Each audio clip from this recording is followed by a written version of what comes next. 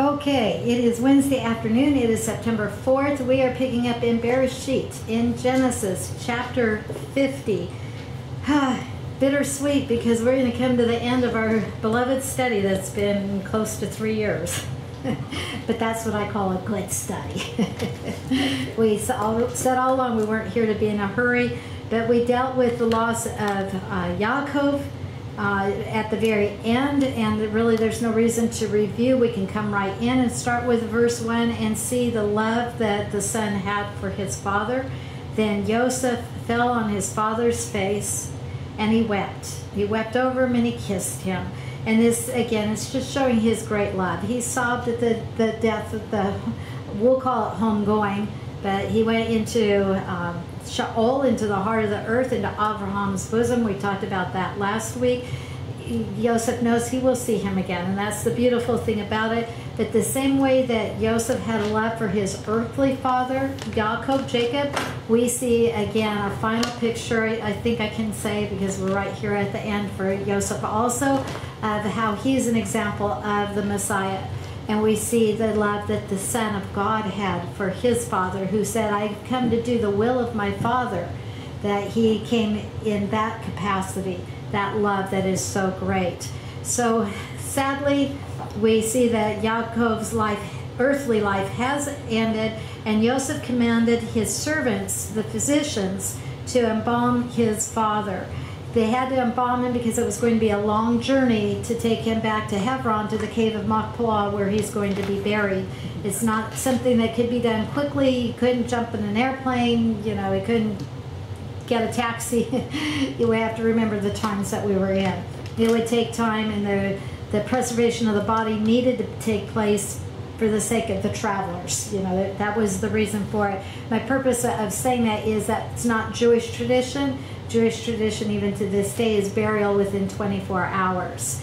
But uh, this embalming that would take place was quite a procedure. We're told in verse 3 now 40 days were required for it, for such is the period required for embalming. And the Egyptians wept for him 70 days. Okay, we're told that at this time for the Egyptians, it took 40 days to do the process of embalming.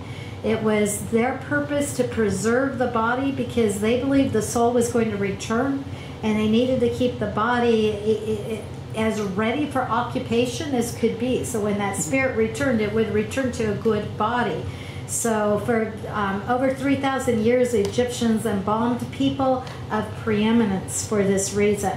It wasn't necessarily every little, you know, every Tom, Dick, and Harry, but it was especially for those that were considered preeminent, those who were important, those who the Spirit would be, you know, coming back to. But there's also um, in historical studies the fact that it took 70 days for for uh, mummification, the period of mummification or embalming. So knowing that both were customary, why 40, why 70? What do we do when we're dealing with the difference?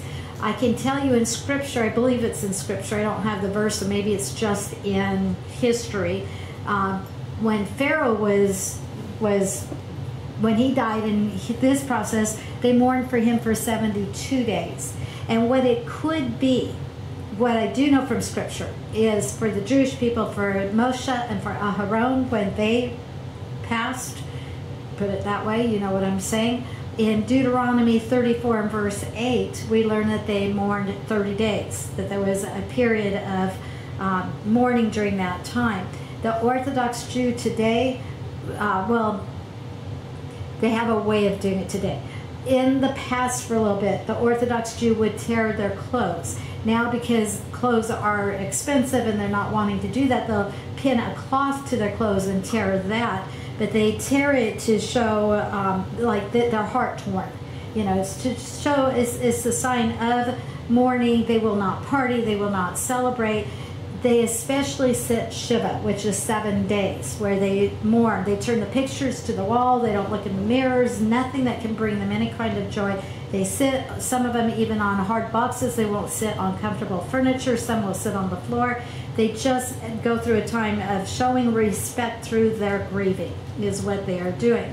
So the 70 days, what are we looking at? the possibility that it took 40 days to do the pure the, the mummification the, the embalming and then after that was completed that they had the 30 days of mourning that would make up the 70 days so it may be it doesn't matter because it's not going against scripture. Scripture didn't say one thing one way in history saying something else. But when we look at this if you were to do it on your own i didn't want you to have any confusion. Well wait a minute. She talked about 30 this is talking about 70 that could be our difference right there is um, that they didn't include the time. That mummification process oh thank you that mummification process at they had special priests that worked as the embalmers and they would treat and they'd wrap the body it would be um, ritualistic there were prayers that were said along the way they were they performed different points at different stages. What I'm trying to say is it was a whole routine.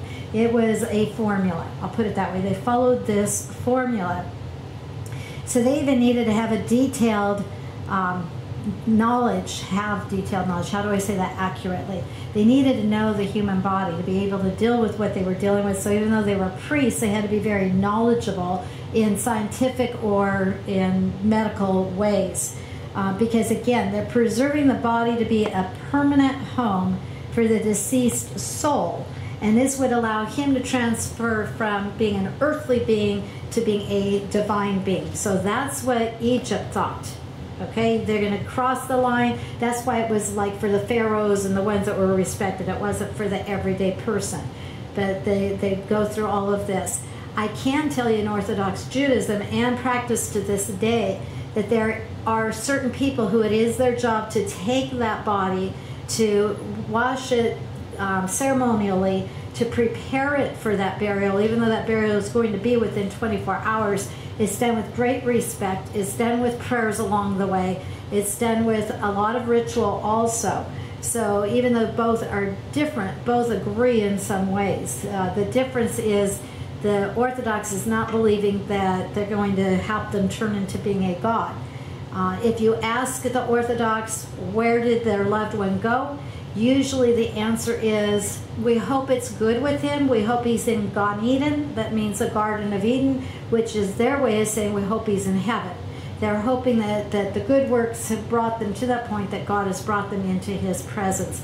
They only have a hope, and that's why the mourning period is so difficult because they don't have the hope that we have as believers. That's a sure hope where we know we'll see that loved one again if that loved one had put faith in Messiah and Savior Yeshua Jesus.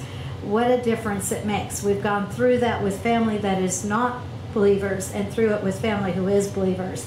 And it's night and day. We can have a rejoicing and a memorial to remember rather than a time of mourning because we know it is good with them. It is great with them. It is better with them than it is with us. We wouldn't even want to bring them back into this world once they have been released to be in the presence of the Lord. But uh, in Egypt, at this time, mummification did take place. So they were going through the rituals of that for someone they respected. Because remember, Yaakov is not Egyptian that it shows the respect they had for Joseph and for his father. Yes, Rhonda. And unmute yourself.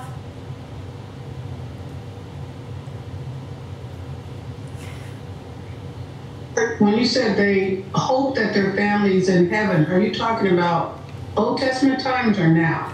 That's even today, Orthodox Jewish today. But back in the back in the day, I thought they all knew they went into Abraham's bosom. In in biblical time, like for Joseph with his father, yes, he knew his father was going into the heart, the the paradise side, as it's described in the Brit Hadashah, the New Covenant. Um, he knew where his father was going. He knew he was going to where his ancestors were because he knew that God is a God of Abraham, Isaac, and Jacob. And the way it said in the Brit Hadashah is he's the God of the living, not of the dead. So, yes, they knew that. Judaism today has lost their basis in Scripture and they've added on so much of man's thoughts and man's traditions that they don't have that security of knowing because really, how can they? They've lost the way of salvation in clarity. They know they can't make sacrifices because they don't have the temple. That's the only place the sacrifice can be made. The only way to be right with God is to make those sacrifices. Since they mm-hmm. can't, they substitute prayer and good works.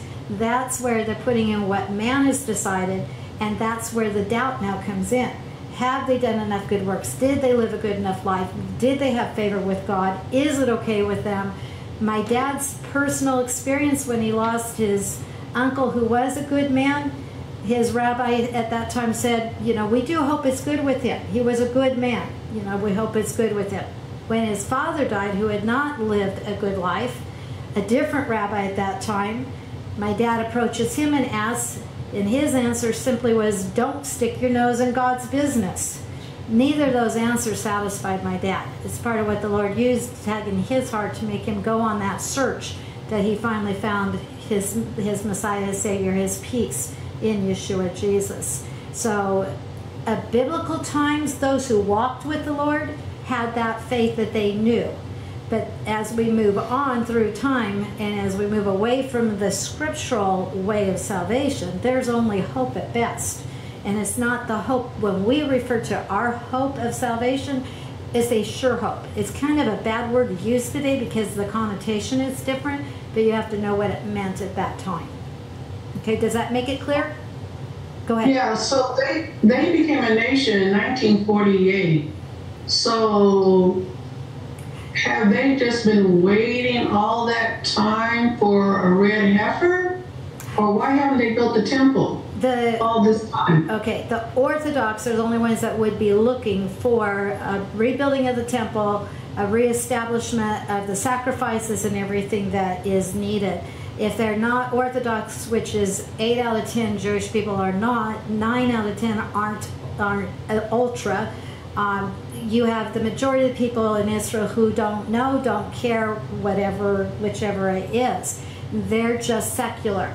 Israel, born again as a nation, is a secular nation. It's, it's Ezekiel 37, 36. Oh my goodness, 37. Yes, 37. It's the dead bones. They're they're there in Israel, but the spirit is not in them. There's no life yet. We know that they will be brought into life as the spirit of God does come back into them and into the nation as a whole through the time we're talking about the end of the tribulation period when they finally look to their Messiah and Savior, and those who go into the millennium are the believers. But the majority of Israel doesn't know or doesn't care, both or either, about what God says. For the Orthodox who do care, they they struggle. There are two groups in there. One group believes that only you, the Messiah should establish the nation of Israel and have his temple. So they even fought against the 1948 establishment of Israel. They lost, thankfully, and they they um, appreciate Israel, but they still think it's got to be things by Messiah. So they're looking for Messiah to come and Messiah to set up the temple. Then there's a group in there that's Orthodox that does want to set the temple up, get everything ready for Messiah, prepare the way. There, among them are those called the Temple Mount Faithful.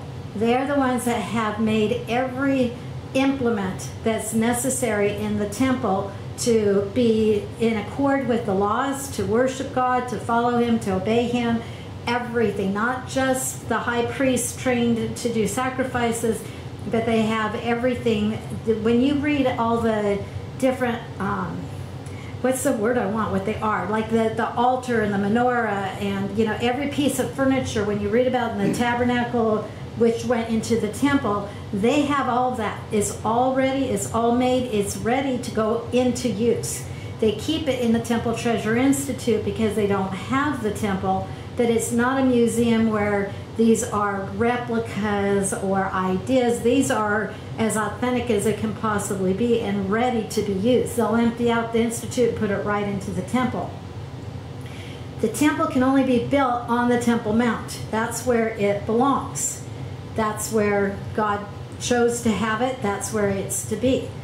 In 1948, when Israel came into being a nation, she did not get control of Jerusalem completely. She got control of part of Jerusalem but part of it she did not. In 1967, with the Six Day War, they gained the reunification of Jerusalem. It all became in Israel's hands. That's the first time they could go to the Western Wall. The Western Wall was the retaining wall around the Temple Mount. Temple would have been up here, Western Wall's down here. It wasn't the Western Wall of the temple. It was the Western Wall, retaining wall around the temple compound, I guess I could call it. So now they had the, the first chance to have the area of their temple under their control. At that time, and still true today, there are two mosques up there. The one that you see easiest is the big gold dome, the Dome of the Rock, and the other is Al Aqsa. It's the silver looking dome, it's a smaller dome. Both are on that Temple Mount area. Because some of the leadership wanted it so hard to make peace with the Arab brothers when they regained Jerusalem, because Israel respects anyone's religion, they said, okay, we'll leave the Temple Mount area in where you have your mosque, we'll leave that in your control so that your people can still practice your religion. And we're doing that to show we want to make peace with you. That's what they even tried to tell the local people who were living in Jerusalem when the battle came to, to, to fruition was the Arab leaders were telling the, the Arab people, get out of Jerusalem, we'll battle, we'll wipe out the Jews, they'll be gone, you'll come back to your home and to their homes. You'll, you'll gain all this victory. Israel said, don't leave, don't fight, come together with us, we'll make peace. We can live side by side. Well, Israel had the battle to win because they were not safe as a people with the enemy right there in their midst. They, they, it was more than just Temple Mount they were fighting for, they were fighting for survival, as they are doing today. Make that very clear. The massacre of October 7th is why Netanyahu today cannot put the weapons down and, quote, make peace. He has no peace partner. They have no desire to make peace. Their desire is to have the peace called Israel and to wipe the Jew off of the map. So, with all of that going on, Moshe Dayan, especially the name, if you're familiar with that time, said, "Let's put a, let's hang out the olive branch of peace to our Arab brothers. We'll leave you in control on that Temple Mount area. We'll control around and below, but we'll let you have that area." That's the way it is to this day. And there are those who believe that there is room to put the temple up side by side with the mosque. Now, whether there is or not, will the Orthodox Jew feel that they can worship their God literally side by side with a Muslim who is out of the minaret that's up there that's so loud you can't hear yourself talk when it goes off five times a day? and in Arabic is inciting the Arab men to go to war, to kill the Jew, to kill their enemy, to kill the infidel, to kill the Christian. I can't see that happening. Um, possibly, possibly, only under the Antichrist when things have changed could I see something like that happening. Because they say, oh, well, we'll just build a wall and we won't be able to see each other. You're still hearing. And I can't believe that that could happen. Now, I could be wrong there. I'm not telling you fact. I'm just telling you what I think is more the heartbeat.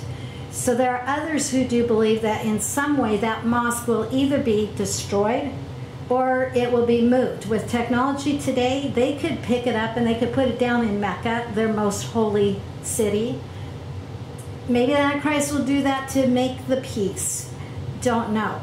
But whenever they have the okay, they are ready. They have the cornerstone. They've tried to lay the cornerstone several times, and every time they do, it, right in that area, war starts to break out. So the police make the Jewish people, the Temple Mount Institute faithful people, make them take their cornerstone back down. You can't lay it down. You can't do this in this way. It's not the time to do that. So that's the battle that's going on to this day. The only thing that they're lacking is that red heifer to have everything that they need. Because for that high priest to step into high priestly role, he has to be cleansed with the ashes from the red heifer. So he's been trained, he knows what to do, he's ready, but to step into it, he's got to go through the ceremonial cleansing. So they are actively looking because they want to build that temple and they want their high priest to be able to be ready to step in. So that's why you hear, and because Christians love to hear what fits in with our scripture, they get all excited when they hear about the red heifers also. I will tell you, and I'll get to your question in a second, I'm sorry. Um, they've had red heifers for a long time. They have to be between two and five years of age. They have to be watched for a time to make sure that they stay 100% pure, which means not one white hair. And every time they about get close, a white hair appears or two white hairs or something to disqualify, and they're back to the beginning and they start again with new red heifers. They get the red heifers sometimes from America. Texas is a place that does sponsor and send red heifers, so that's nothing new. But they are watching. They've got some within the two to five year range right now, but they haven't been declared this is it. In God's timing, it will be because they will have to have it to dip, to get the temple going, and the temple will be going before the middle point of the tribulation when the Antichrist puts his image in the temple and stops the daily sacrifices. So, somewhere between, I believe, between the beginning of the tribulation and that middle point, it will be built, it will be ready, it will be in use. It could be built before the rapture. I'm not telling you which side it's on because scripture doesn't tell us which side. It could be, but I think the scenario in my little peon brain is more likely it's going to take the Antichrist false peace to bring them to some sort of cohesion with that Temple Mount to be able to work the details out to have it happen. So that's why I think it's a little more likely right after there's a major change that's going to take place, which I believe because the Second Thessalonians chapter 2, when the Holy Spirit takes us out of this earth, then the man of sin is revealed. And I believe at that time, that's the most likely scenario. I could give you one more little slice on it. In fact, I will real fast because I'll lose my thought, and then I will get to your question. Again, hear me clearly. Where I can give you scripture and verse, I will say, I declare on the basis of the Word of God. So I'm not telling you this on the basis of the Word of God. But we keep our ear to the ground because you read the Bible with one hand and you read your newspaper with the other, and because we have an insight of things that are going on in Israel. Uh, they've looked for the Ark of the Covenant for a long time, and there are those who believe they know where the Ark of the Covenant is. I have uh, someone who I know personally, more than trustworthy. He's a Bible educator. He has started everything from preschool to, to master's level. He has taught in foreign countries. He has taken many groups to Israel. He is personal friends with the head of Temple Mount Faithful Institute that I've been talking about. He has been a friend for years with the one that would be called the rabbi of the wall. That would be the rabbi who's controlled what's happening at the Western Wall. And at one time, the conversation with that rabbi at the wall, and there are those, let me say, that believe that the ark is buried underneath that area, that it's been cut off from access on purpose, but they know that it's behind that cutoff point.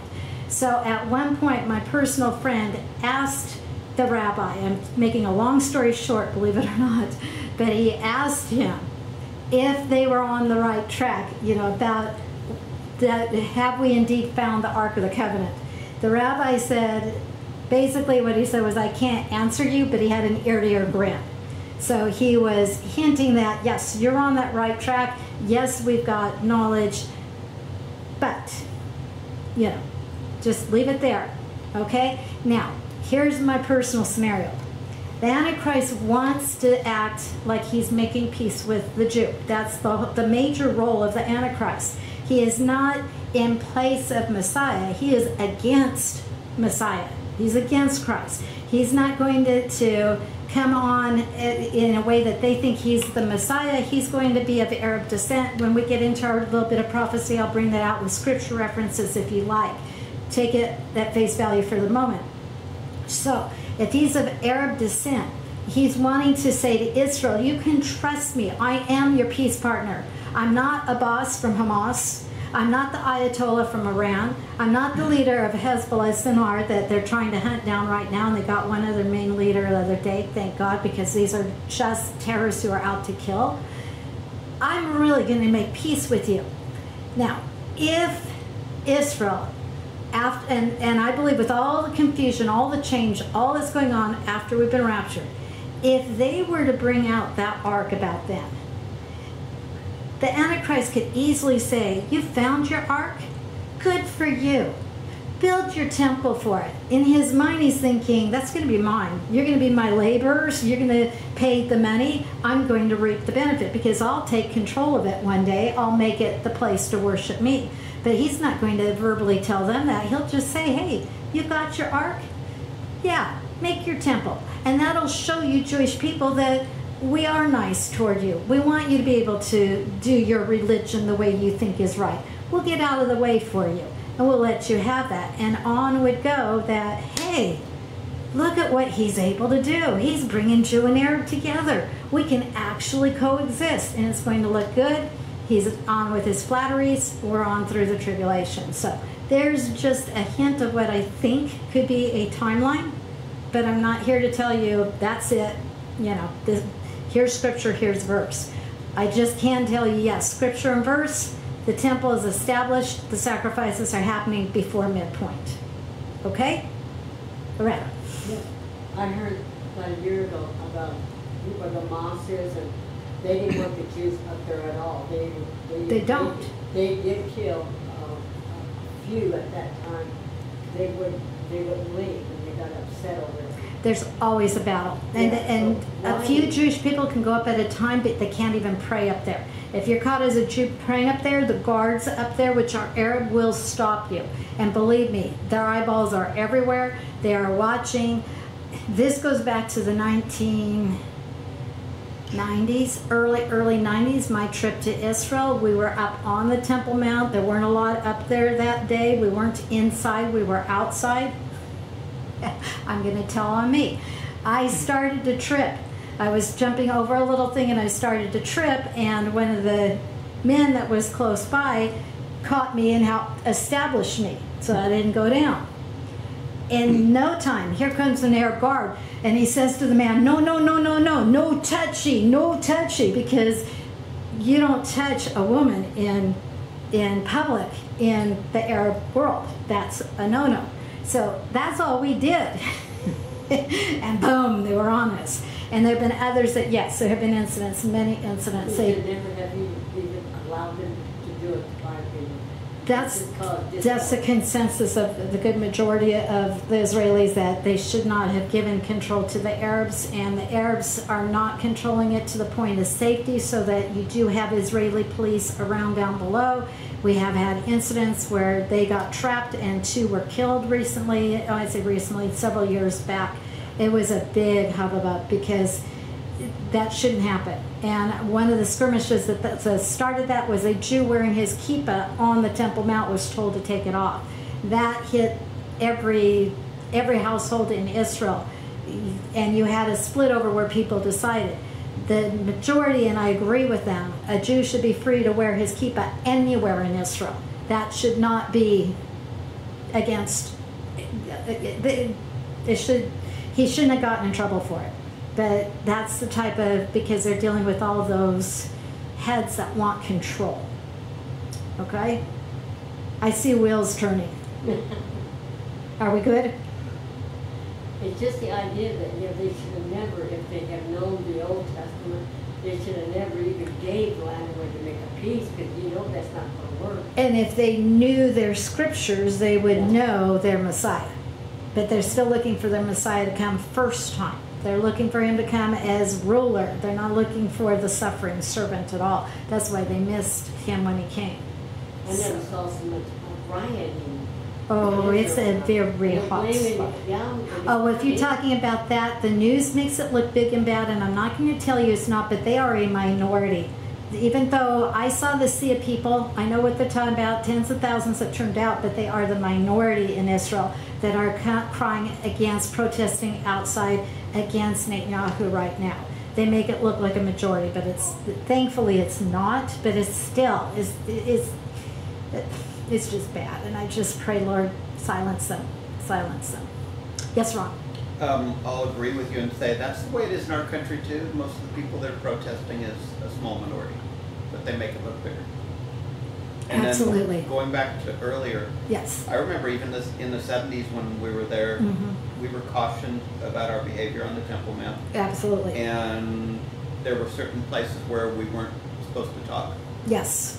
Things like that. Yes. And so, and, and obviously if they missed him the first time, that's part of the reason they want that temple and all the worship and everything, because they want to get back to that so he can come. Right, right, exactly. If I did not make that clear, thank you. Yes, they are looking for him to come and they want to ready up for him. So there needs to be the, the temple, there needs to be the sacrifices, there needs to be everything that, that so he can step in and rule from there. So yes, that is their intent. That's the the Orthodox that are trying to adhere to the scriptures. But sadly, they are um, blinded to not see even this one point from 70 AD on, no one can prove their Jewish genealogy. That's why we don't know what tribes we're from unless we're Cohen or Levi that we know, okay, that's the tribe of Levi. But outside of them, no one can prove it. You can say, oh, well, my family says, but you can't prove it on documents. Messiah had to be proven to be from the house of David, David. He had to be able to show his pedigree. And no one from 70 AD on can. So how can they have to turn a blind eye to that and just say they're going to accept someone as Messiah because he's not going to be able to prove it. But we know God would never do it in that way. If God said he's going to fulfill all this prophecy, then it had to be in time for them to see and to know. So, yes, ma'am. Can I ask a question about the scripture reference? Yes. Because I didn't want to interrupt all this end time stuff, it was interesting. But, But you want to get back to Genesis so we might finish it? well, I had a question. Yes, ma'am. Why would Joseph do a pagan mummification of his dad with pagan priests as a follower of God? It had to have been just that he knew for the trip to honor his father, he had to allow that to the, the mummification process to take place. Did he control it to some degree and not allow them to do every step so that they weren't doing some of the ceremonial things that would have been against his God? I don't know. I can't tell you, but I've wondered that same thing. How much did it bother him?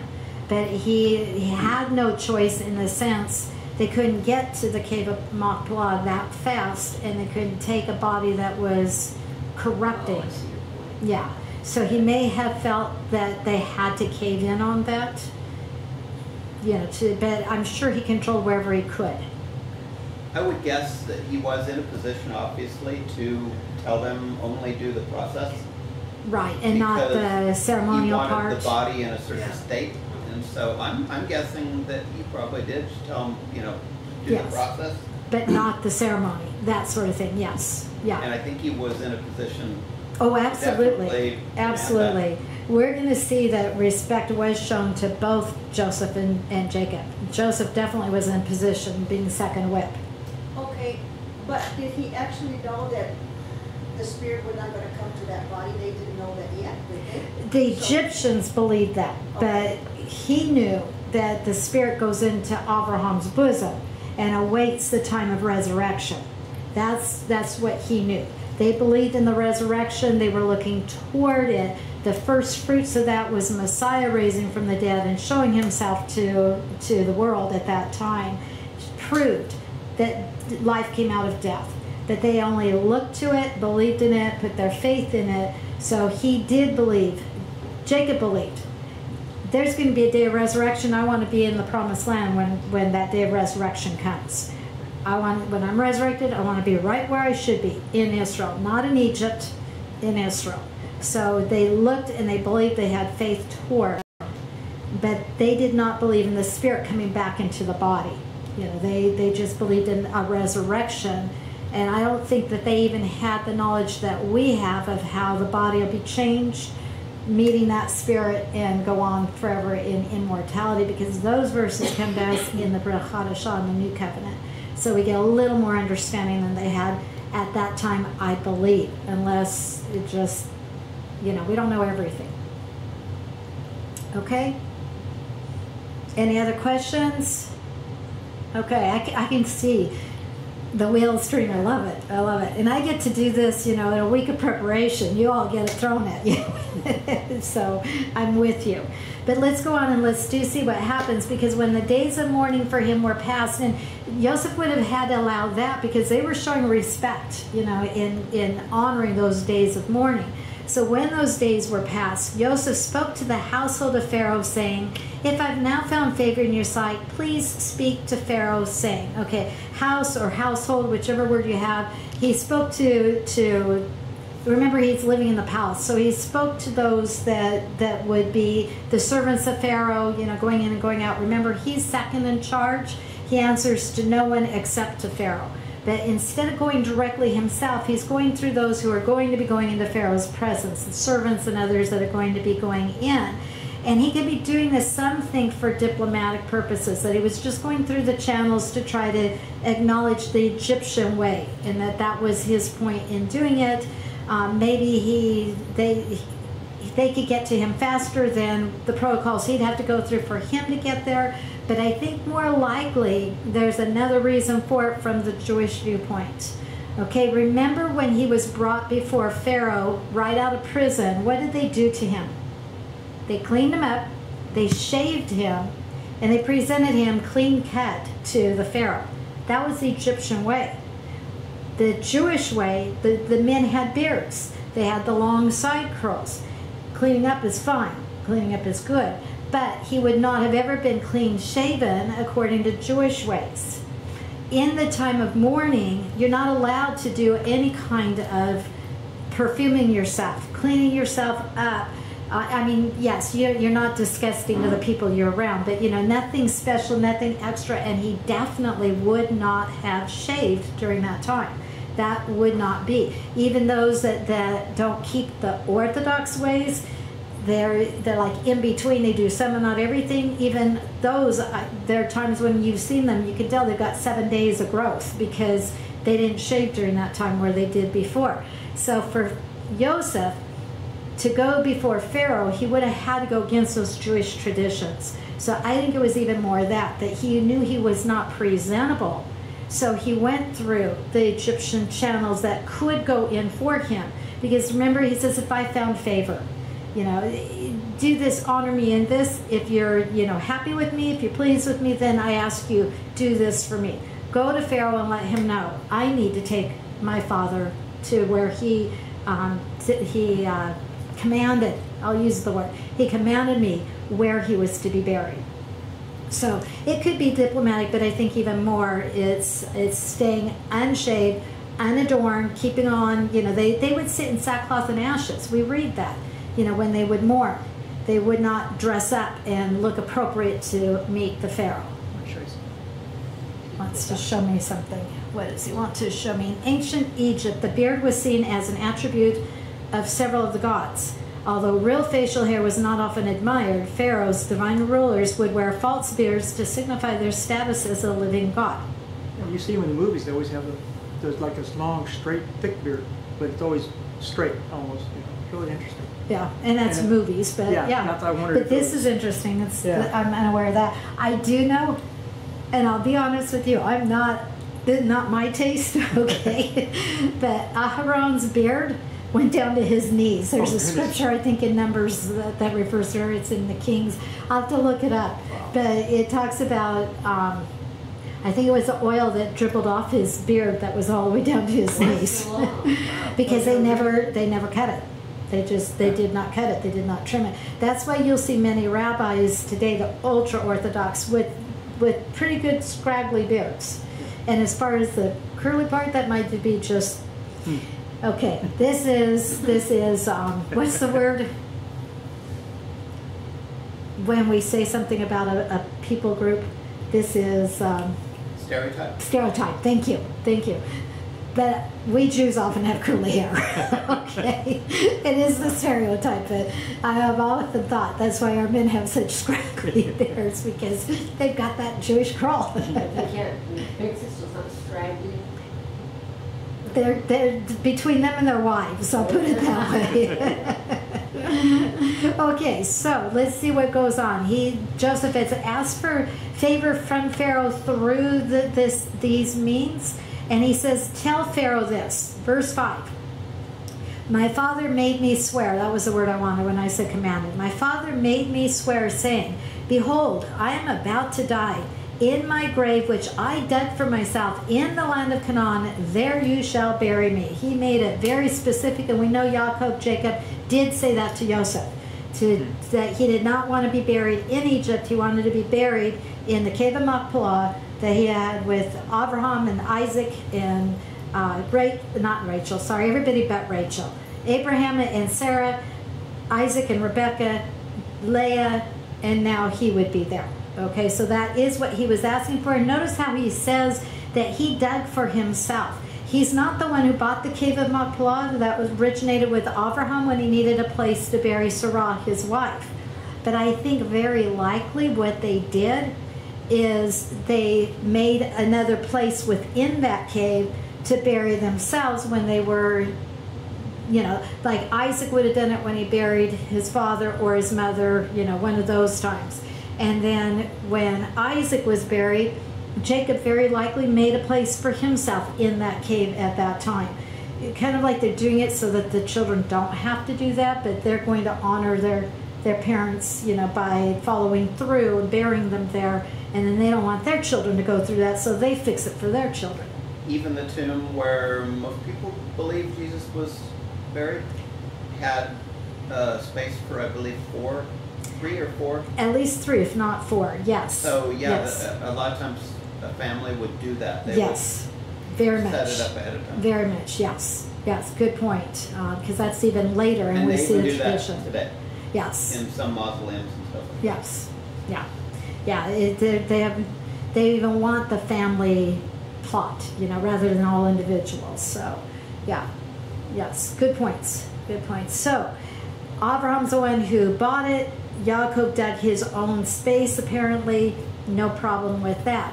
So, because it was Yaakov made Joseph swear, he says, Now therefore, I'm in the middle of verse 5, please let me go up and bury my father, then I will return. Okay, he's asking for permission to go. He's even um, making it like an oath. Didn't what did he say?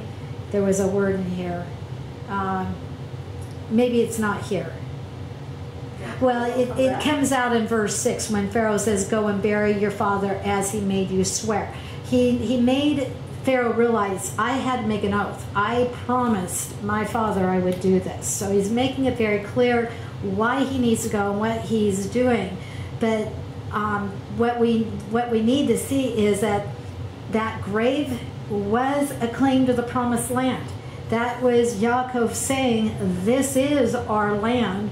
This is where I want to be in that day of resurrection. I want to be residing, even in death, in our promised land. So even making Joseph swear to follow through was showing Yaakov's faith in what God had said. That I had given this land to Abraham, to Isaac, to Jacob, to his descendants forever. That's that's what we're seeing here. So, verse 7. So Joseph, oh, well, verse 6 then. So Pharaoh said, Go up, bury your father as he made you swear. He gave his permission. Go do exactly what has said. So, does Joseph go alone? You might think that he would have, that he and maybe a few of his family members would go, but no, we're going to see a whole entourage goes. So Joseph went up to bury his father, and with him went up all the servants of Pharaoh the elders of his household and all the elders of the land of Egypt. This was your leading officials. This was your court, your state. These are the the the um, the hierarchy. Okay, pomp and circumstance. This would be the closest I think we can see in our day and age is England because they still have a king and a queen. And look at all the ones who turn out and follow the carriage. You know, they have this procession. That gives us an idea that we can picture of something in our day and age. But it's amazing that all the leading officers from the courts, from the state, from Egypt, we're going to go up. We're going to be a part of this. And that shows, um, what am I going to call it? Um, I'm looking for it to see if I put it in my notes. I'm fighting for words today. I'm sorry. More for respect of Joseph, because they didn't even know Jacob. Right. The, the, the inner circle would have known Joseph. I, I'm sorry, would have maybe got to know Ja- Jacob a little bit, but they knew Joseph. They did have such respect. Remember, he rescued their country. He rescued them with his plan to get them through the famine. He showed such great wisdom. They turned everything over to him little by little till they literally owned nothing and were his slaves. They trusted him as slave owner, even that he would treat them with the respect and dignity of, of human beings, and he did. So this was their chance to to respect who he was and his traditions to respect his father. And so definitely it was an Egyptian procession that moved out of Goshen that showed respect to both Jacob and Joseph. That uh, it was a funeral with all the honors, the 21 gun salute for the, the one who had been in service, and uh, respected every way that they could. It really tells you the impact they had on this land at this time. It was quite something. So it, it was called a, an official state funeral. That's what I was looking for in my words earlier. So they're all going to go up. Uh, well, notice then, okay, we're told that the household, the elders, all. And verse uh, 8 and all the household of Joseph and his brothers and his father's household, they left only their little ones and their flocks and their herds in the land of Goshen. So all of Jacob's family goes. All of them go. The only ones that they leave back are the little ones because the traveling would have been too hard. They needed to move, they needed to not be slowed down by babies, you know, so they didn't take their little ones. But, um, and remember, they've been there for 17 years. They were 70 when they came down. The number they've grown in that number during this time because they've been having babies, obviously. But leaving behind their little ones and leaving behind their flocks, that would ensure Pharaoh they were going to return. They weren't going to pull a fast one. You know, the famine's over now because the famine was only for seven years. That's long past. So they could have worried, we'll lose our great leader. He won't want to come back down. He'll stay in his homeland. No, no worries. If you left your little ones, you're coming back home. You're not intending, or I'm sorry, you're coming back to Egypt. You're not intending to, you know, pull a quickie on them. So it probably gave them security and they probably put their herds and all into the hands of Egyptians who said, you know, we'll we'll feed them, we'll take care of them while you're gone, so you can travel without being encumbered by them. So again, showing the respect, but Joseph showing his full intent was to just go bury his father and come back down and live in Egypt. And We'll pick that up in just a couple of verses, so I'll say a little more then. Verse 9, I think we're ready for. Yes, there also went up with him both chariots and horsemen, and it was a very great company. The chariots probably were wagons to carry the supplies because they'd need to eat on the way. They'd need, you know, everything that they need to, to prepare food because they didn't have a restaurant by the side of the road in those days. They didn't have places to check into the hotel and have all the amenities there for you. So they had to take everything they needed along with them. And the horse and horsemen was like the cavalry and that probably would have been for protection because there would be marauders that would be out after you know anyone that they found away from an area where they didn't have support now what's interesting is the count of the funeral of a procession of the embalming everything that we've been talking about we see that in egyptian monuments we see that in uh, burials of the famous the important the hierarchy in egypt we see that through their history so the same thing they did for their pharaohs and their uh, their high respected officials, they did the same thing. We do this for ours. We're going to send that along with you. So it was all part of what they were doing. Um, but in the oldest of tombs in Egypt, they find the pictures, the hieroglyphics showing this. So, um, so in essence, it was a mix of a Jewish and an Egyptian entourage that went and is carrying out the burial of this Jewish man. You've got, can I call it in quotes, Arab and Israeli working together to bury a loved one. Just interesting point. Okay, let's see how much, because verse 10 tells us when they came to the threshing floor of Atad, which is beyond the Jordan, and that's all I can give you. I tried ancient maps, I tried all kinds of finding other information where Atad was, and it could have been the name of a man rather than a city, a place. We don't know. In Hebrew, it means thorns. Whatever, this place, all I can tell you, the only description, it was on the east of Jordan. It was beyond the Jordan. Actually, I can't even say east because I don't know which direction they're on, but they were beyond the Jordan. They lamented there with a very great and sorrowful lamentation, and he observed seven days mourning for his father.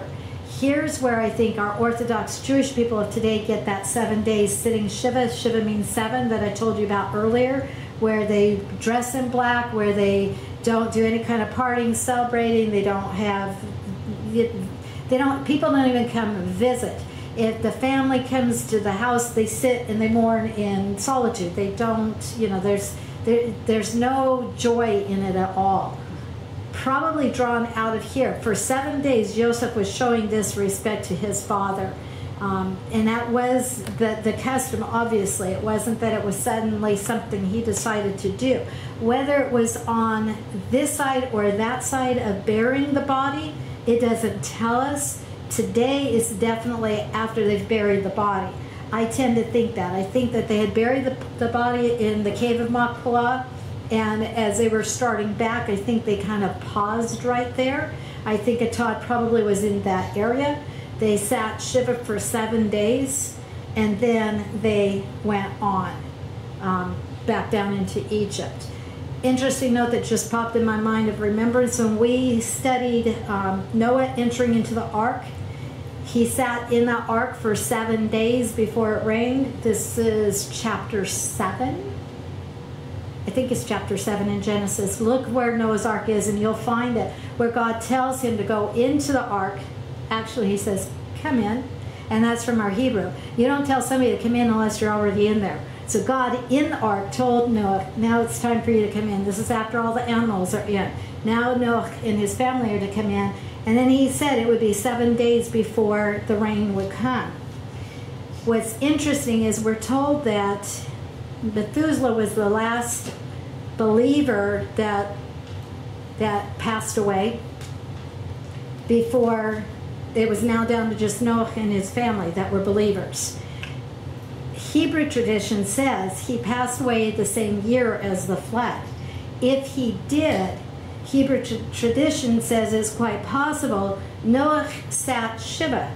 He mourned for the seven days for Methuselah, who had just passed away, and then it was time to go on with the program. We'll ask one day just an interesting thought because we studied that when we were all the way back in chapter 7 that I'm sure you all remember. wow. Yes. Did I don't know if it was back then or even nowadays, did they used to hire mourners? Um, Or is that just that's more Arab than Jewish. The, the, the Jewish joke is if they could afford to hire mourners, then they'd all have this great big mourning celebration going on, but they're too poor to do it. So, uh, but it's, it's more Arab of hiring those. Sometimes you read about it in scripture where there were those who just did it. Like sometimes you read that when Yeshua raised, I think, the little girl Tabitha from the dead. I think he had to put the mourners out of the house. But whether they were really hirees or whether they were people who really cared, debatable debatable. But I can't tell you they didn't or they don't. It's just not quite as much in the Jewish traditions that I read about. Another question? No. I should have drank my water when you were asking that. okay, so they have mourned for the seven days. Verse 11 Now, when the inhabitants of the land, the Canaanites, remember they've gone into Canaan, into Canaan, so the people that were living in Canaan, they saw this entourage, they saw all this pomp and circumstances coming, and they, they probably could see a coffin. I didn't bring that out clearly either, but Egyptian was coffins. They were body shaped, they were made out of wood. Um, we know the sarcophagus, the which was stone, and after the a time when it would just be the bones, then they would dig up that coffin that had the whole body and they would put the bones into the sarcophagus. that's probably more likely what happened with Joseph, whose body is going to be in Egypt for 400 years. It probably was uh, put into a bone box, as they were called. But for Jacob, because it's immediate, it probably was a coffin. So again, if I look in my mind's memory of England, they followed the the the carriage that had the body down the on, down the road to where they were going to bury. It was probably like that, so the Canaanites could tell that it was a funeral. They would also probably hear them crying and you know the mourning that was going on. But they saw it; it was so huge, um, and they saw it when they were there at the threshing floor, which means it's where um, they would bring in the wheat that they had harvested, and they would separate the wheat from the chaff. That would be done at the threshing floor. So it was in that area that they said, "Wow, this is a grievous mourning for the Egyptians." They, whoever this was, the Egyptians are really mourning over him. They were they were surprised by it. Therefore, it was named again. It's not on maps, but it was named Aval Mizraim in in my Hebrew. Maybe El Abel Mis, Misraim. I don't know how you'll say it in English. Anyway, which is beyond the Jordan. What's interesting is that name if you keep it in real pure form from what we have here, it means the meadow of the Egyptians, but just slightly off from that root means the mourning, M O U R N, of the Egyptians, mourning of the Egyptians. And I tend to think that was probably more accurate, and somebody just didn't, you know, when we translate from one language into another, we can make little, it's hard to tell especially like to bring something from Hebrew into English. Hebrew doesn't have vowels. You, if you're fortunate enough to have a script that has markings to tell you how to pronounce, great. But if you get all the way back into the biblical scrolls, you don't even have that. It was taught how to pronounce the words because you wouldn't know whether you put an A, an E, I, an O, or a U in there. So easily I can see how in the Egyptian, it could have easily been that they meant to name it the morning and it became called the meadow because that's where the threshing floor was. Anyway, it is on beyond the Jordan, and I am told in my notes here, and I've just forgotten, that does mean east of the Jordan. So that's all I can tell you. East of the Jordan is the area they were in, and they even made um, a name for the area out of this funeral procession. So it must have been quite something and quite unusual. I don't think there would be any other time you would see Egyptians going through a funeral procession to bury in the promised land, in, in Canaanite territory. You would have seen it down in Egypt. So it would have been a sight to see. And why it would be marked in history outside of the scriptures. So, verse, wow, my time is going, I can't believe this. Um, verse 12, right? 12. Yes. Thus his sons did for him as he had charged them. So Joseph and his brothers were obedient to Jacob and did what he had asked them to do. For his sons carried him to the land of Canaan, buried him in the cave of the field of Machpelah before Mamre, where, which Abraham had bought along with the field for a burial site from Ephron the Hittite. Okay, if you don't remember all of that, um, that's, I thought I wrote down the chapter number, that we studied it when we were there. I can't believe I didn't write it down. I'm probably going to come across it in a minute. Um, but what's interesting is what comes after this. Everything's been done as we've explained, but then verse 14 is key. It says, After he buried his father, Joseph returned to Egypt. Okay, now people who, who don't think things through are quick to say, The fool! Why did he go back down to Egypt? He's now in his land. He's free. He should have just stayed. No, he even showed that was never his intent because he left his little ones down in Egypt.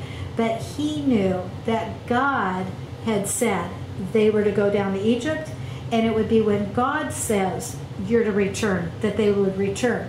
And if they knew, and there's no reason to believe that they would not know, the words given to Abraham, the grandfather of Joseph, in chapter 15, verses 13 through 16, they were told they'd be in Egypt for a long time. They were told they'd be there for 400 years. They haven't been there 400 years. They've been there barely over 40. Not even 40. 17 with Joseph, and he was 17 to 30, so yeah, not even 40 years yet.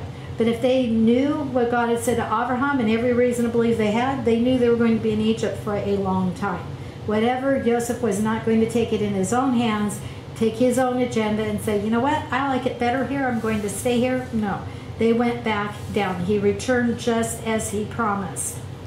So he buried his father, verse 14, returned to Egypt, he and his brothers, and all who had gone up with him to bury his father. Every single one who left Egypt and went to the land of Canaan went back down into Egypt. They kept their word, every single one intact.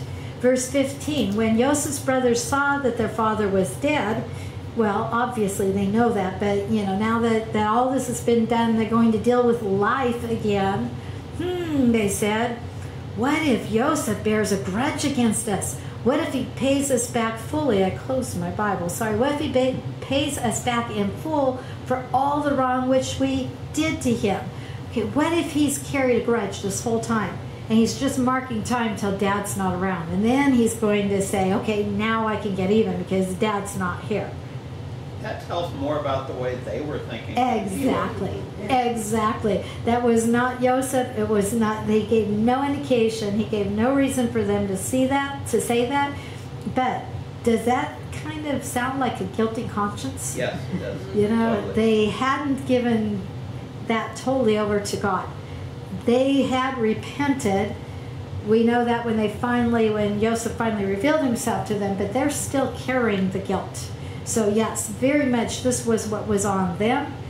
They were afraid of him bearing a grudge because they deserved him to carry a grudge. They deserved him to get equal. And if you have requites us, if you have that in old King James, that does mean pay back in full. You know that that this is what Joseph would do. So they've got to come up with an answer. They're shaking in their boots instead of trusting. And so in verse 16 they said, so they sent a message to Joseph saying. Your father charged before he died, saying, Your father gave a commandment. He declared, He said this. What did he say? Verse 17 Thus you shall say to Joseph, Oh, please forgive, I beg you, the transgression of your brothers and their sin, for they did you wrong. They're admitting they did wrong, but they're saying, Our father told us to let you know that he's charging you to forgive us. Yeah, right. Really? If Jacob had felt that way, why didn't he tell Joseph directly? He certainly had no trouble telling Joseph, This is where you're going to bury me. And that was in his last breaths that he was giving him those directions. So he easily could have said at that time, And by the way, don't do anything against your brothers when I'm gone. Even though they deserve it, don't do it. He could easily said that. No, that was not in his mind. They drummed up that if we say that dad said it, then maybe we'll get his good graces. So they're concocting a way to keep, keep themselves out of trouble that they know that they deserve. Verse, did I read all 17? No, I didn't. Let me finish that. Um, and now please forgive the transgression of the servants of the God of your father. So what they're saying in that, forgive our trespass, our, our transgression, forgive what we did. We're admitting that we did wrong they're really even admitting what a man sows, he reaps. We know we sowed, we deserve to reap. But they're, and I lost my train of thought, oh, but they're saying, Behold, we are your servants. Okay? They're willing to be his servants. They try to make him a servant, they sold him as a slave. They are going to reap what they sowed in that sense, and they're going to say, We'll be your servants will be under you. So they're they're willing to submit to that point. You know what that does? Anybody remember Joseph's dream? You'll serve me. You'll bow down to me. They're bringing his dream to pass again. They're saying, We are your servants, we're bowing down to you. So, again, what God said is what is happening. They are reaping what they sowed, but in a way they didn't intend. But notice how Joseph responds to this. Was he grappling with his own conscience about wanting to get even? We never read that, and we don't see that in his actions. When they said that to him, when they brought this plot, oh, dad said, his response was that he wept when they spoke to him. I think it broke his heart that they were of that frame of mind, that he had shown to them true forgiveness, and that they would think that he'd bring that back up, that was just an act covering up till, till their dad had passed away.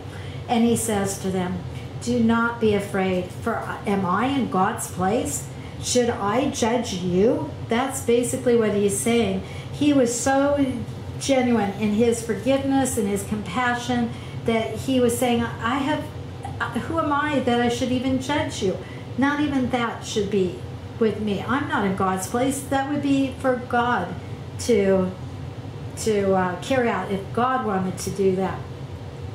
So when he spoke to them that tenderly, that lovingly, showed them that compassion, even though dad is buried now, then verse 18, the brothers also came and fell down before him and said, Behold, we are your servants. Again, full fulfillment of that dream that God had given Joseph many years ago.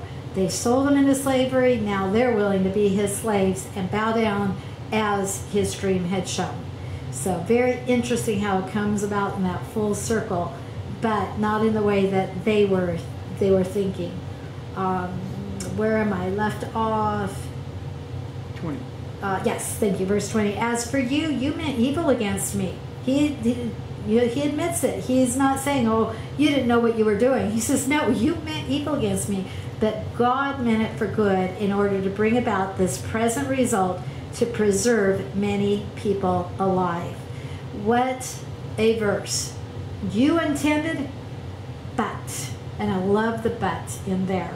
And the, the present result, as in that day, he said, This is why God did it.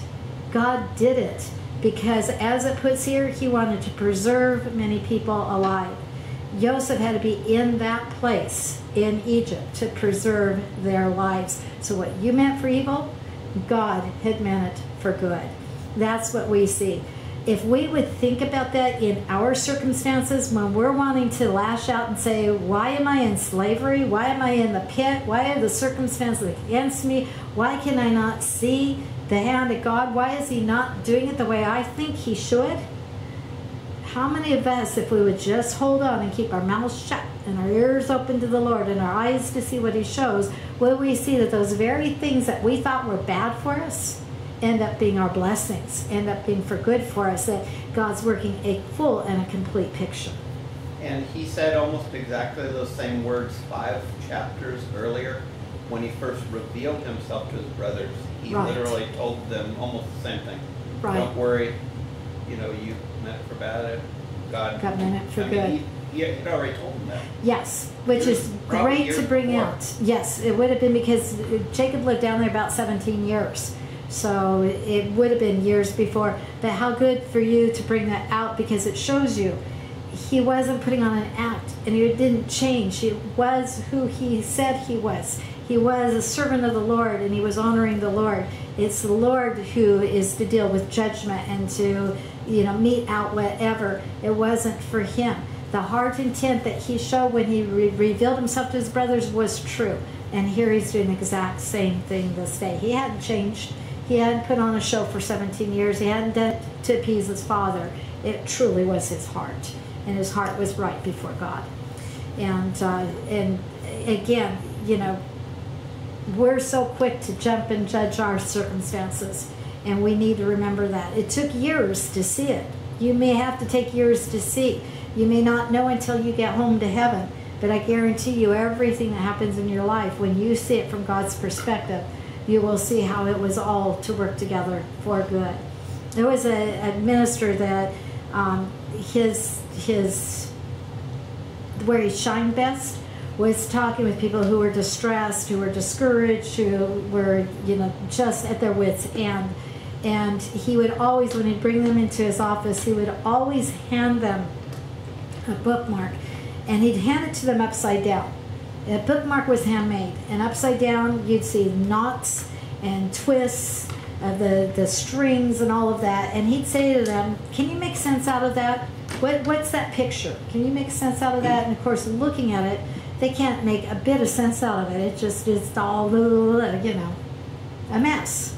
But then he would turn it over, And what had been done on the other side in two colors, the background to make the letters stand out, said, God is love.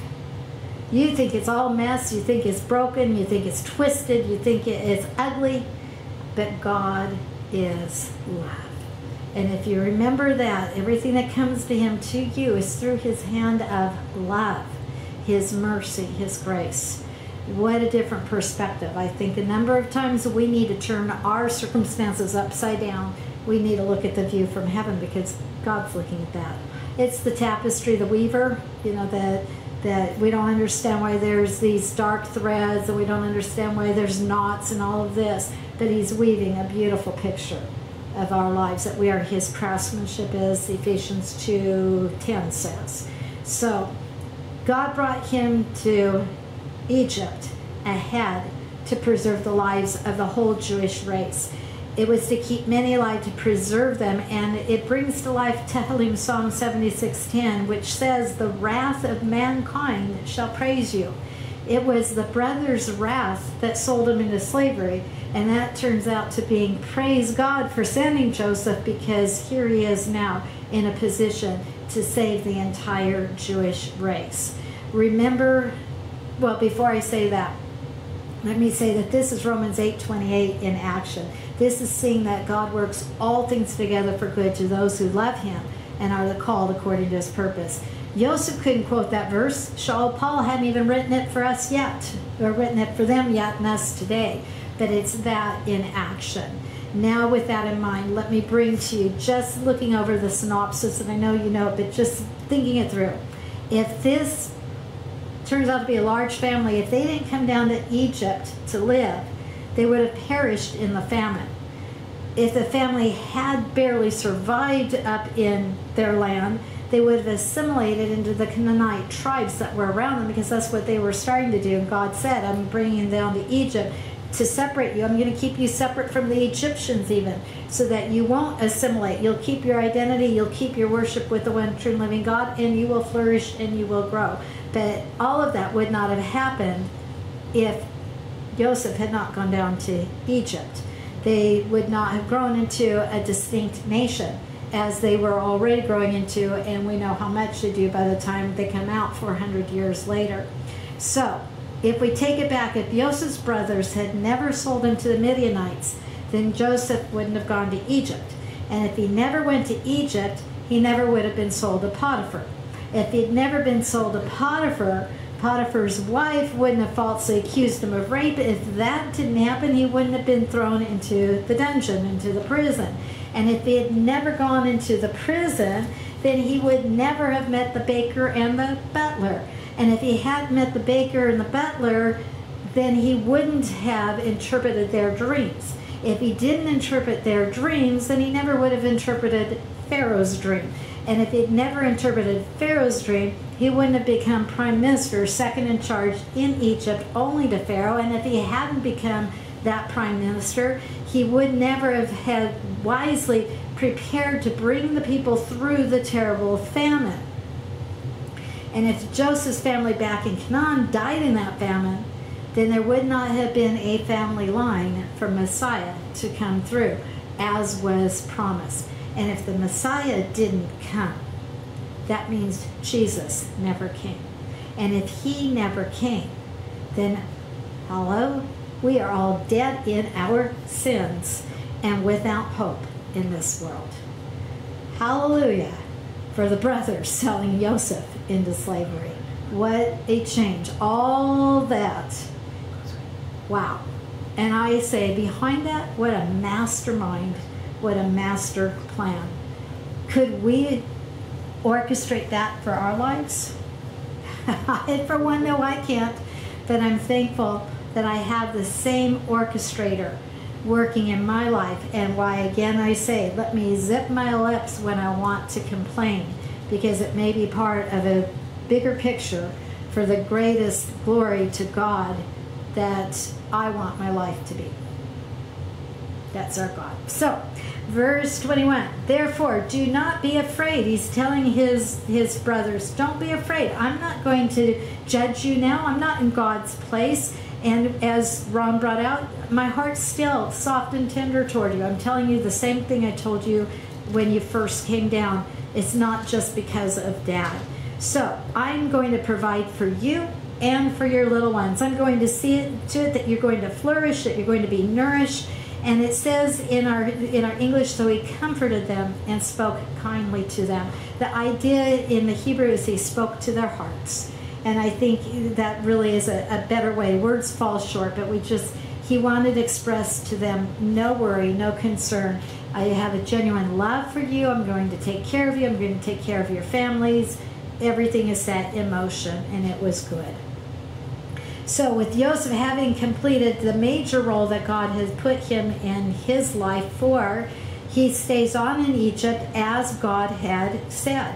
Um, he was probably around 57 when Yo- when Yaakov died because he was 40 about when he came to the throne. Okay, and um, when Jacob came, when if he was about 40 when Jacob came down into Egypt because he's on the throne, and Jacob lived in Egypt 17 years, then he's Joseph's about 57 when his father died. Okay, he's going to die himself about 53, 54 years later. He lives to 110. So he's about about mid midway in his life is, is what I'm trying to say. Time is going to, to pass. And we're going to see just an overview real quick what happened in all those years because what's critically important is what we've just come through.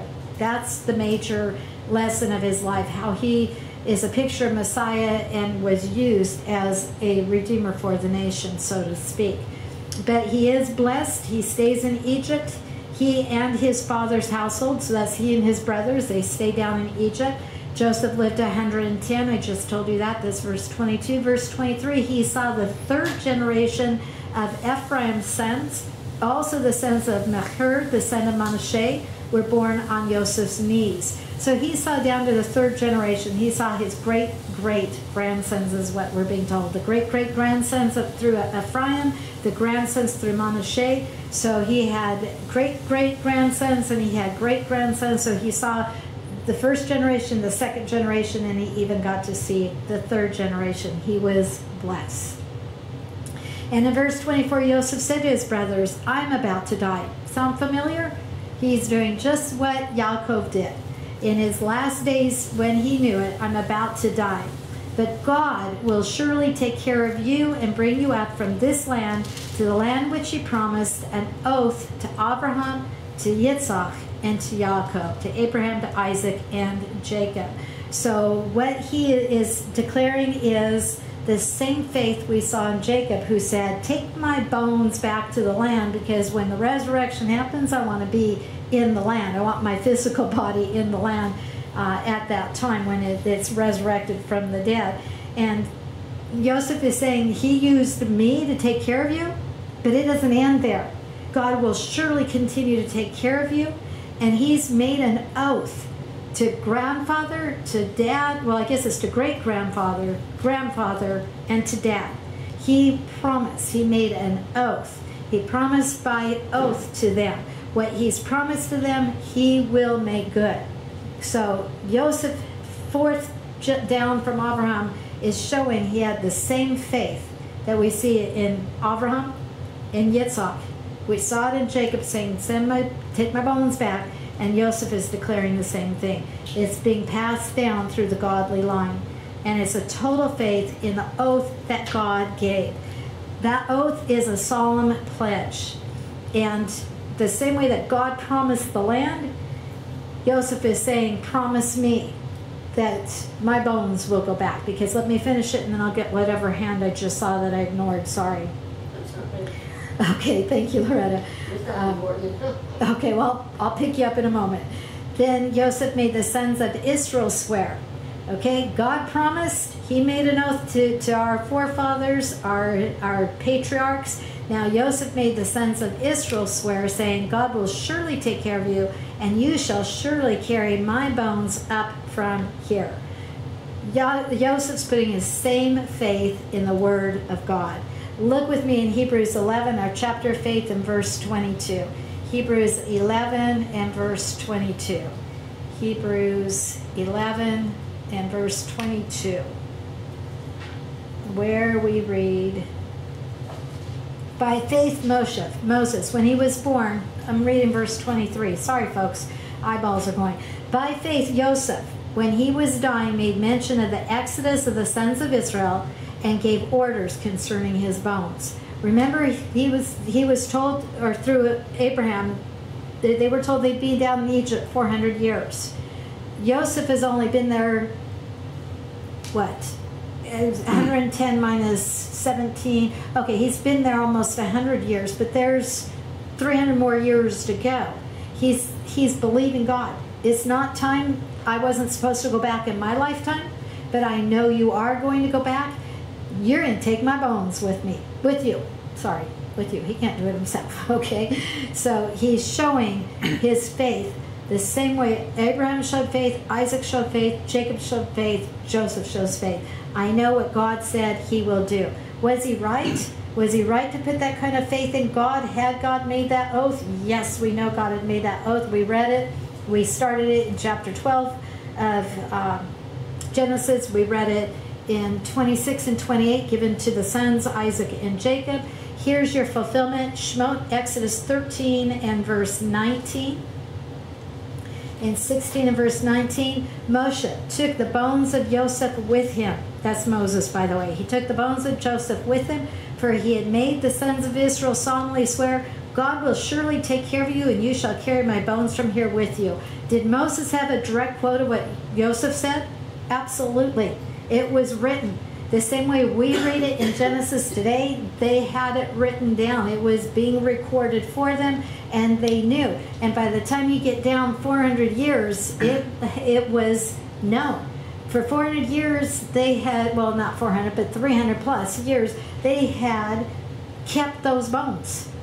I'm sure as the ones that were in charge of keeping the bones, as they would pass that down to the next generation to take care of, they told them the charge. This goes up to Israel when God returns us to our land. You don't let these bones get lost. You don't bury these bones here. You wait, and they're going to be carried out of Egypt. They're going to be returned to Israel. And it was on Moses' watch that the bones are carried out of Egypt, and it'll be on Joshua's, Yeshua's watch when they'll be buried in the promised land, because Yeshua is the one that brings them into the promised land. But here they're taking their bones up. We've got it in Shemot in Exodus 13 and verse 19. Go with me to Joshua, Joshua chapter 24. Was, uh, uh, Moses, uh, was he born after Joseph or before? I mean, After, Man, many hundred years later. Yes, yes. Joshua 24 and verse 32. We read, Now they buried the bones of Joseph, which the sons of Israel brought up from Egypt at Shechem in the, in the piece of ground which Jacob had bought from the sons of Hamor, the father of Shechem, for 100 pieces of money, and they became the inheritance of Joseph's sons. So in that verse, we get the whole thing. The bones, uh, rereading it and stopping, pausing as, as I read it, they buried the, the bones of Joseph. Israel brought them up from Egypt. They buried them in Shechem in the piece of ground that Jacob had bought from the sons of Hamor. I think that was chapter 34, if I remember right, right around there. Um, Jacob paid 100 shekels for it, 100 pieces of money. I would call it shekels today. And it became the inheritance of Joseph's sons. When the land was divided under Yeshua, Ephraim and Manasseh are in the area of Shechem. That's why it would became the their those those tribes got their dad's land that he bought. It's just right. It's just right and it's complete. So Jo- Joseph wasn't buried in the cave of Machpelah down in Hebron. He's buried up in Shechem, which is higher up, more towards the north. Okay, we'll go back. I was just wondering, you know, why didn't Joseph's great great grandkids uh, watch the bones? Somebody did all along until it was time, you know, the generation after generation. Nobody was alive 400 years, so they passed the duty down. But can you imagine now if and seeing to it that nothing happened. Nobody let down. Nobody, oops, you know. Nobody. Whose are these? What are these? You know. That that they they kept charge of them. They didn't did miss what they're supposed to. bone, huh? well, it would be in the box. you know. Oh, wow. It wouldn't be bones that they were looking at, but they knew, you know, what, what was in the bone box, as they called it. So, um, we are ready for verse 26. I hate to do it, but here we are. Yeah, I read all 25. I want to make sure. Okay, verse 26. So Joseph died at the age of 110 years, and he was embalmed and placed in a coffin in Egypt. And that's why, again, when you hear, well, wait a minute, how could he be buried? How could he be placed in a coffin in Egypt and his bones get to the land? Well, again, that coffin would would have been made usually out of sycamore wood. It usually resembled the shape of the human body, and it would have been um, done, even though they embalmed, there still would have been the time that they either took that coffin and put it in a large sarcophagus, which is usually made out of stone and is a final burial, or if it, it, it either could have been done in that way, or if being mummified, I don't think the, the body would have ever um, corrupted, decay, decay. So I think it must have been, rather than a small box, it must have been the large sarcophagus. Either God kept the wood preserved and they were able to take it up and then they buried the wood in the other because you find burial usually in that the stone. Whichever way, it's not a contradiction. That he was buried in something that was able to be carried with them up into Israel. Very doubtful it would have been stone until it was in Israel. If they buried him in stone, that would have been when. But again, it was a box that was passed down. Okay, and I have a reason for saying this. That coffin that would have been before them, that was a testimony from their forefathers and the prophecy of Jacob. That's all they would have had for the next 400 years, or, or until the 400 years had been fulfilled. Let me say it that way, okay? The coffin, the testimony from Abraham, Isaac, and Jacob, and the prophecy that Jacob gave. And, and of course, Joseph confirming by saying, Here's my bones, take them up with me. Because there's no personal manifestation of God after the last time God personally manifested himself to Jacob at Beersheba. We don't read, and that was when he was on his way into Egypt. Remember when he stopped, and we think that he must have been saying, You know, God, you gave us this land. Am I right to go down to Egypt? He wanted to go down to see his son, of course, but is this right for us to move down there? And God confirmed to him, You go down into Egypt, I'll bring you up out of Egypt. So from that point, when God revealed himself in a form to Yaakov, to Jacob, we don't read about God showing himself to anyone until Moses at the burning bush. That's the next time we read about God manifesting himself. So it would have been a number of years of silence. We know that there's silence between our testaments, even though it's one continual story. We know it was about a 400 year period of silence between the last of the prophets and Yeshua coming onto the scene. And is that not interesting? Because we have 400 years of silence here, and God brings forth deliverance through Moses. And then we have 400 years of silence in the test between the testaments, and God brings His deliverer, Yeshua Jesus. Is it possible that God just those four hundred years? God doesn't go on vacation. and did He speak in individual hearts? Of course He did. But what we're reading and what we're singing as a whole, and a manifestation, I know, and a manifestation that could be declared, we see, we see that it, it was, you know, 400 years in the Moses, the 400 years and then Yeshua. Why does that ring such a bell in my mind? We just happen to be on the parsha, the portion of scripture that we're reading right now as Jewish people around the world. What we're reading this week has in it, it's Davarim Deuteronomy, it has in it chapter 18 and verse 15. And that verse says, There will be a prophet like Moses. When he comes, hear him. And our Jewish people who stay and try to be into their, well, they want to be obedient to the scriptures. Let me put it that way. They study the rabbis, but if they would study their scriptures, they know we're to be looking for a prophet like Moses.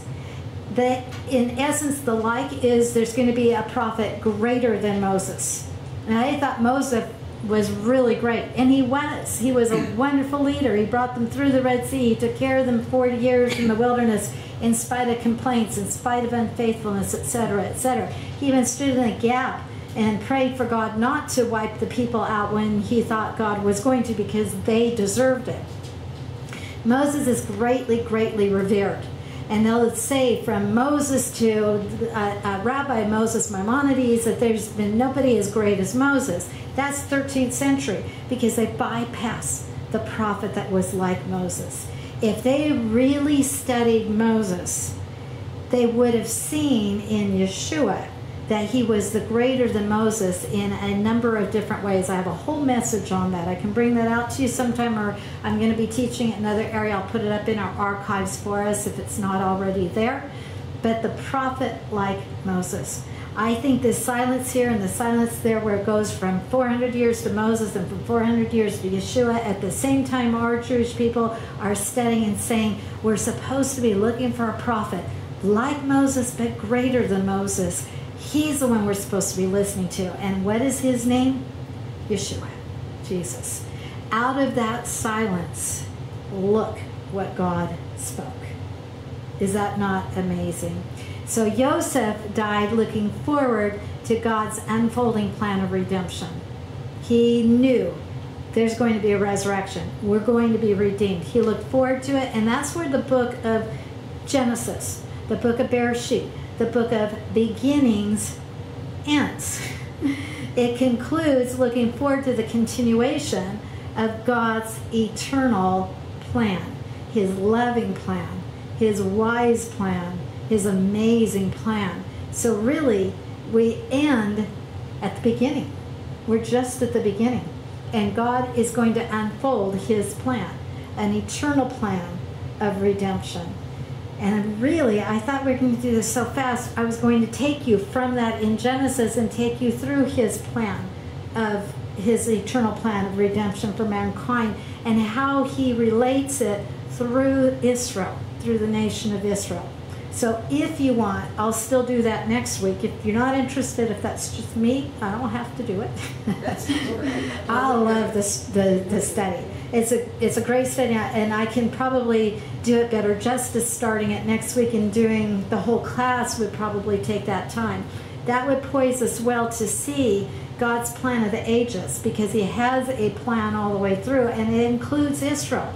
He never deviates. He never forgets Israel. He never wipes it off the map. He never says, I'm replacing you. So I can take you from this beginning, this end of the beginning, and I can take you through that, showing you the importance of Israel because God spoke and used and worked through Israel. So if you like that, and I'm getting an affirmative Yep. I'm getting affirmatives up there too. Okay, then that's where we'll pick up next week. I think that's good timing. We'll look at God's overall plan, which will also help us divide. What happens in Scripture is all Scripture is for us, but not all Scripture is to us. We need to know our audience. We need to know who God's speaking to. If He's speaking to Israel, Israel needs to heed those words where if he's speaking to the what we call church, the body believers, the call that assembly, we need to heed those verses. So when we keep those separate, Israel and the church, their scriptures, then we don't get confused as to what lays out in God's plan in his timing. And we'll be able to see that very clearly.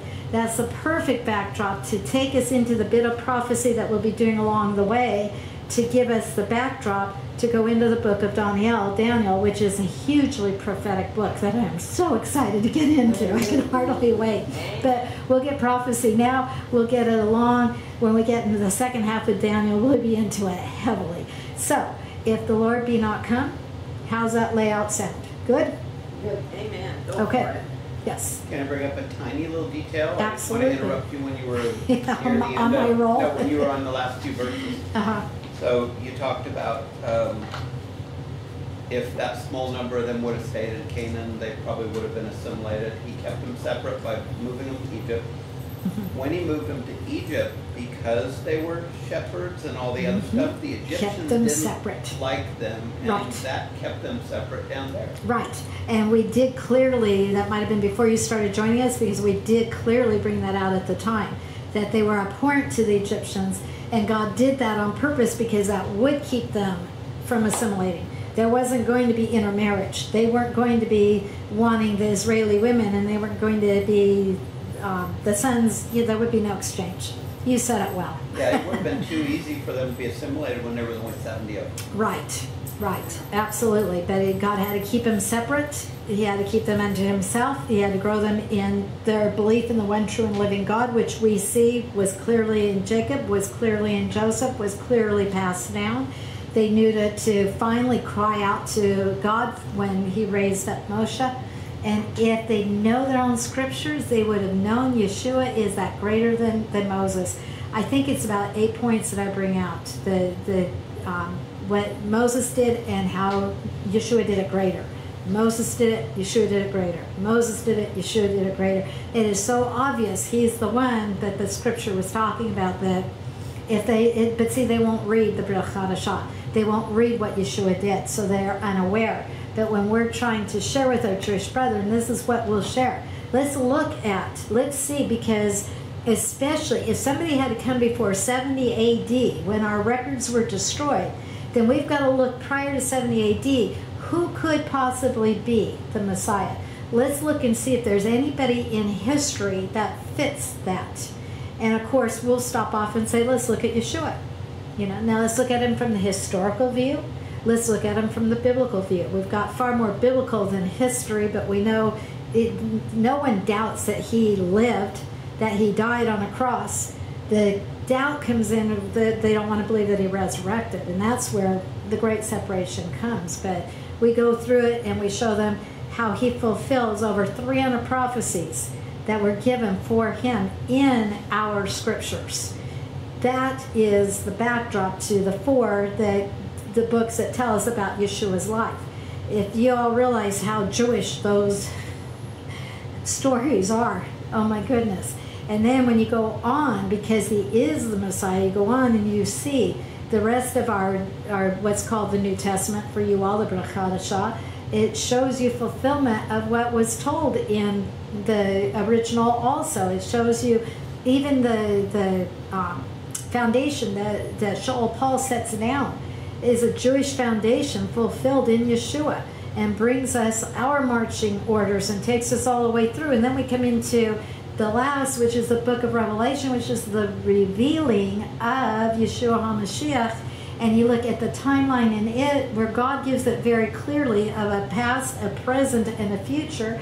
And it fits ideally into what God said in regard to Israel. We know where Israel fits in, we know where we fit in It takes you all the way to eternity future, seeing it as the one great story, his story, and how it is so orderly laid out from beginning to end. And if we can get our Jewish people to listen all the way through and see the Jewishness in what's commonly called the Christian side, and I hate that expression, but if we could get them to listen, they would hear how Jewish it is and how it's a continuation of their story and how it's here's um, it's revealed here, concealed. Here it's concealed, here it's revealed. Here it's foretold, here it's fulfilled. All the way through. Doesn't miss a point. If I had nothing else but prophecy to prove me the Word of God, that's enough for me. That's enough for me. Not one prophecy misses. Not one. That's what Jonah, Jonathan Cahn's been doing. Oh man, according to the uh, 50 years of the uh, all the days, the scriptures, the king fits in what happened. Just, I never knew such history. I just so spellbound. It, it's amazing. God has told him, tell the people. You know, so and his timing, God's timing, is just right oh. on target. Yes, when He said they'd come out of Egypt 400 years later, they didn't come out of Egypt 300 years later, and they didn't come out of Egypt 500 years later. They came out 400 years later, and all the way through, Yeshua's coming.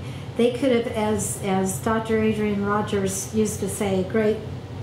I'll say it, Baptist minister. I, I say that just because people have issues. It doesn't matter to me. He was a believer in the Lord. But he said if they knew their own scriptures, They would have lined the hotels for him when he came into Jerusalem. They would have been there knowing this is what was happening, and they would have been able to go through the whole week knowing this was fulfillment of their own scriptures. But they didn't know their scriptures, and they didn't look for him to lose his life. They looked for this one that was going to rule and reign and break Rome's rule over them.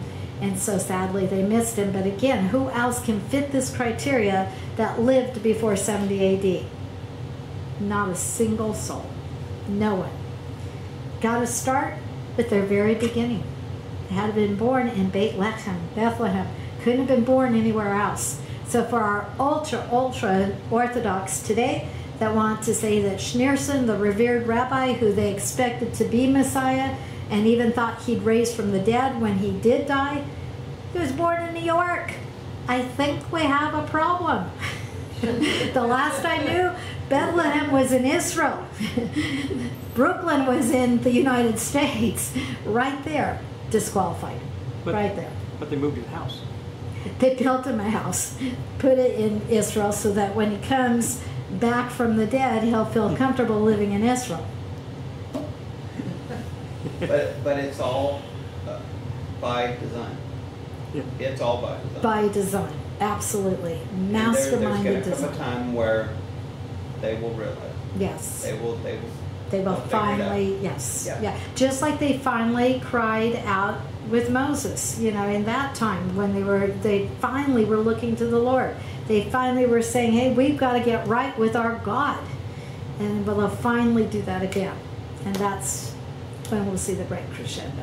Yes. Okay, before we, we move on, um, the Bible never says, it says Pharaoh died and a new one come in, and so what happened to Joseph? Did they throw him out and he became a slave? We know that Pharaoh died at 110. So he, I don't think, lost his position. I think he died in position of second in control. I don't think he ever lost, but as it moved down, there were several new pharaohs that came up, and the one that, that finally comes up that we deal with in Egypt was, I mean, I'm sorry, in um, Moses' day. This one was from a different dynasty and did not recognize and appreciate what this Pharaoh did. So this was a Pharaoh that didn't appreciate Joseph, didn't know what he had done for the country, and that's where the blessing was gone. And now you're too many, you might be our enemy, we're going to subdue you, we're going to control you, and, and life got even worse from that point on. So, mean, because his, uh, Joseph kids went over here, so did they just go to this family over here and that's where they got their training about God and stuff like that? I think it was passed down through the family continually, the same way Jacob, Jacob passed it to Joseph. Joseph passed it to his children. His children passed it to their children, and it continued on down. So you had a godly line that continually, God always keeps a remnant. Yeah. And But- so- But what I'm saying is, he wasn't in the position anymore because now he's a slave, so did he take his kids and moved up to the, like the, uh, He never became a slave. The Pharaoh that didn't know him comes up 300 years later. So I think when Joseph died, his whole family was still reaping the blessings. And I think they did for a long time still after that until a new dynasty came in. The closest way I can say to you, and it falls very short, but we have Republican and Democrat here. When uh, when it changes, okay, right now I'll, I'll use it by fact. We have a Democratic president. If it changes to a Republican president, there's going to be changes that are in line with what the Republican wants rather than what the Democrat wants. In that way, only to a greater degree, the leadership that came up in Egypt was so different from this leadership that they didn't recognize or accept any reason why we need to be nice to these people we look at these people totally different. Maybe the way back when they were good for us, but now they're just playing too many and we're playing with fire and we could get in trouble. So at this time, they put them into slavery long after Joseph had passed away. I'm sure Ephraim and Manasseh had passed away. You know, we come down to Moses' time. And from Joseph to going down into Egypt um, to Moses is 400 years. So if Joseph only lived 110 and we take off the years that he was not in the land, we have him at about 100 years. We got to get to 400 years. So there's hundreds of years. So it's like us trying to study back in our own history in America. We don't even have 400 years of history. But do I really know who supported George Washington and say we should respect that family and that unit? And no, we don't even know. So it, it got lost. Does that help? Yeah, well, I was just thinking about his kids because to start out with, there was no God, right? Except the Father, he kept the, The father was the one responsible to, to teach spiritually. Yes, uh-huh. Yes, and I believe that continued. God always kept a remnant. So in even in Moses' day, we see that because we had the the midwives who feared the God of Israel and wouldn't take the lives of the boy babies. We see the mother that knew there's something different about this son. God's got his hand on this son and she hides him and it's Moses, you know, and, and God was at work so that he got raised up in the Egyptian court, so he was the one that could know how to deal with the Egyptian court. But even in that we see there was a faith there. We see that there was a remnant that believed and that was looking for a deliverer to come. But they didn't cry out as a whole, as a nation, and look for that until they got miserable. As long as things were good, they were content. because somehow or another, they knew that they belonged to, um, this tribe over here, and they came with them so that they could, right, proceed and, and, uh, be part of, of, I believe the tribes kept teaching their children, you're of the tribe of. So I believe that the children, even as they came out of Egypt, knew their tribes because when Joshua takes them into the land and they start dividing the land, they divided it by tribe. Yeah. So the tribes kept their identity and they kept the spiritual influence. There was leadership that continued it down. Some of the tribes were less, like we see, Dan goes off into idolatry first, and then others follow as we get way down the line. But that's all the way down in, Yeah. you know, long past, past David even. So, uh, but yes, initially, even during that 400 years, they kept their tribal identities, they kept the spiritual, they taught it to their children. Even when God's bringing them out in Exodus, He teaches them teach it to your children, pass it down to your children, don't let it die because He's raising up a new generation. And even that generation that dies off in the wilderness, the children know, you know, this is what God promised. All of them they're going to die in the wilderness but we're going to go into the land of promise. So it was passed down. It was continually passed down. Rochelle, because they they always kept really good records of all that stuff. yes. So they were doing that, I'm sure, in Egypt. yes. And then I think when that new dynasty came, everybody would have known these are separate people. Right. They're not Egyptians. right So- very clearly they so were they not would have said, why are we even? I mean, they would have been looked at as like immigrants. And they were not only immigrants they were so many in number that the the new dynasty did fear if we're attacked will they side with us will they side with the enemy if they side with the enemy there's so many they're a threat to us they could wipe us out and they would take over the land of egypt and we egyptians would be gone but yet they never assimilated they always stayed separate from the egyptians it's just the Pharaoh that knew them when they were 70 saw that they helped Egypt.